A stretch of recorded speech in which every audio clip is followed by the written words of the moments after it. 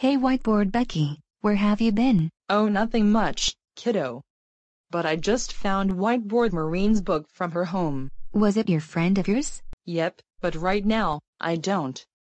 I have moving day with my stepmom. Let me show you my backstory. When I was getting detention at school in the late 2012, all I can see is a bad friend named Whiteboard Marine Najima Kun. We play games, doing some crime stuff, and then stealing from the store. When we went home, me and Whiteboard Marine have been grounded all day. We had no TV, no video games, and no going out. In 2017, Whiteboard Marine went to do pirating on her laptop. I won't get into this situation, so I went to do my work before playing. You know, I really wanna apologize since I was your rival for 14 years. It's okay, but you're still my close friend of mine. Can you carry on with your backstory? Oh of course, of course. Two weeks later, my bad friend continues to pirate a Nintendo game from the illegal website. My stepmom called me and said, Your traveling will be ready about three minutes. So, come home immediately. And I replied, I'm on my way stepmom.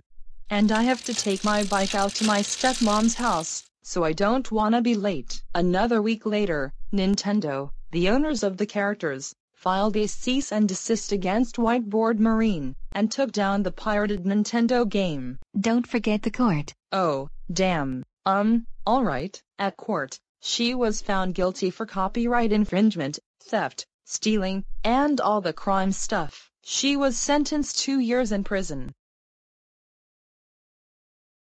In 2020, me and my stepmom went to watch a favorite anime movie in her Japanese television, and it was awesome. I really have dinner in Japan, so I'm going to play my favorite Nintendo game I've bought after my long moving. So I woke up in a morning for a Zoom call and teacher told me Whiteboard Marine hasn't come today. She wasn't talking to her mom on her phone, and Whiteboard Marine's account has been terminated. All of a sudden, Whiteboard Marine trying to disappear from her mom.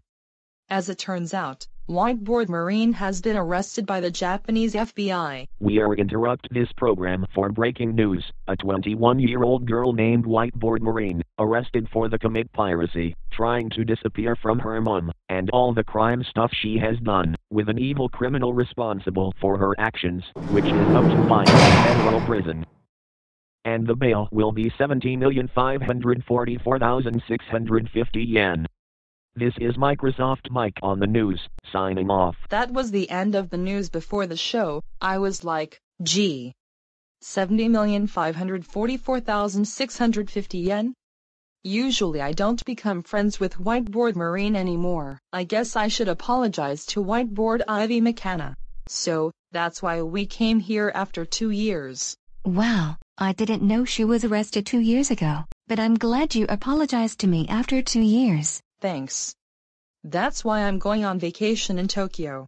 私の養子となったアジア人の娘に謝罪してくれてありがとう。Oh, it's nothing, Ms. Mali McHannah-kun. I'm glad you learned your lesson. So, let's go back to hotel. I have dinner ready.